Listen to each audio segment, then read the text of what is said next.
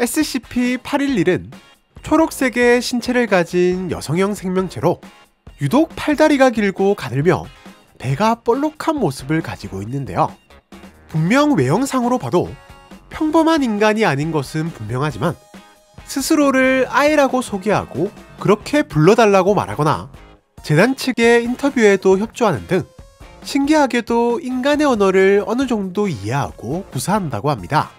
이는 데이터베이스 대조 결과 어렸을 때 버려진 야생아동의 수준과 비슷하다고 하는데요.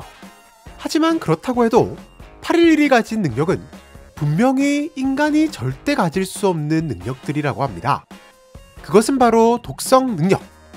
811의 손과 발바닥에서는 초록색 점액이 지속적으로 분비되고 있는데 스스로에게는 아무런 해가 없지만 이것이 다른 유기물에 닿으면 즉시 대상은 빠르게 썩어 들어가 검은 액체가 되어버린답니다.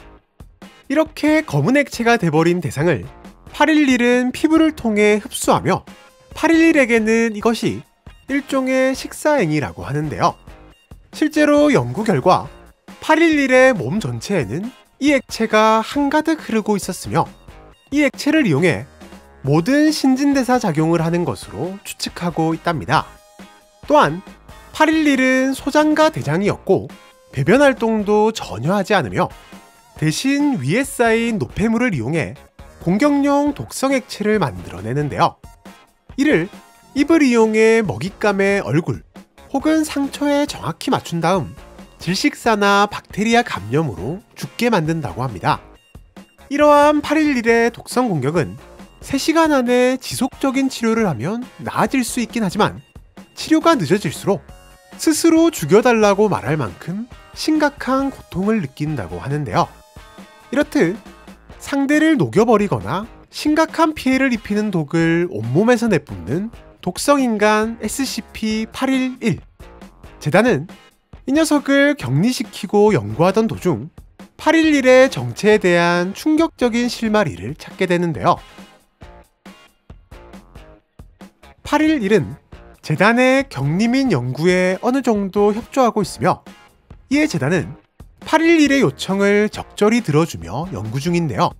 현재 811은 철저한 습도와 온도, 토양과 수질 관리가 이루어지고 있는 원통형 유리벽 안에 격리되고 있으며 24시간마다 최소 5kg 이상의 먹이 제공, 811의 독성에도 생존할 수 있는 수생식물 공급 등등 여러모로 최적의 환경을 제공하려 노력하고 있답니다.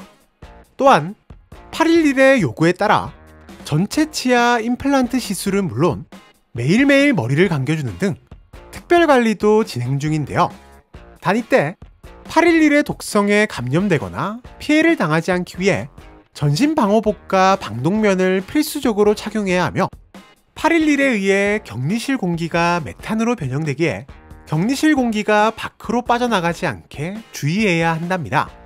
이 같은 재단의 특별 대우를 받으며 811은 지속적인 연구 및 면담에 참여 중인데 이 과정에서 재단은 어쩌면 811이 정말 인간일지도 모른다는 충격적인 단서를 발견하게 되는데요.